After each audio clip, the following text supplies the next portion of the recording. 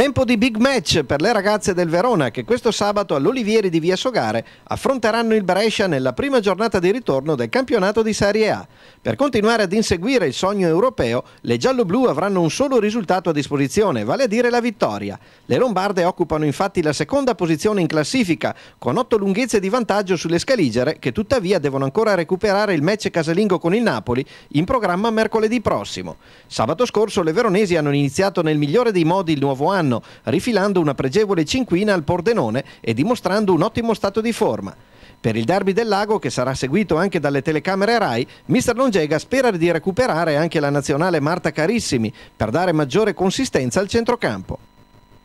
Bisogna vincere, non sarà facile anche perché il Brescia è una buona formazione, ha delle giocatrici direi molto brave e noi stiamo comunque recuperando degli atleti importanti e crediamo di poter fare una bella partita e di potertela giocare a viso aperto.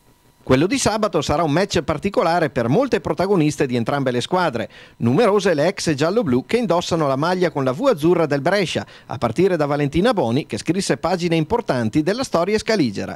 Sono invece tre le bresciane che militano nel Verona, Girelli, Capelloni e Maffezzoni, anche se nessuna ha indossato la maglia delle rondinelle.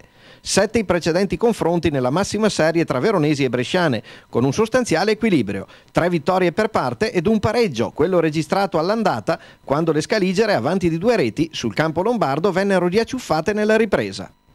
Adesso è la gara decisiva, anche se all'andata comunque ci è rimasto l'amaro in bocca di, un, di, una partita che avevamo iniziato bene, eravamo sul 2-0, poi loro sono state brave a recuperare, ma sappiamo che qua non è facile, loro comunque verranno qui per vincere come dobbiamo fare anche noi.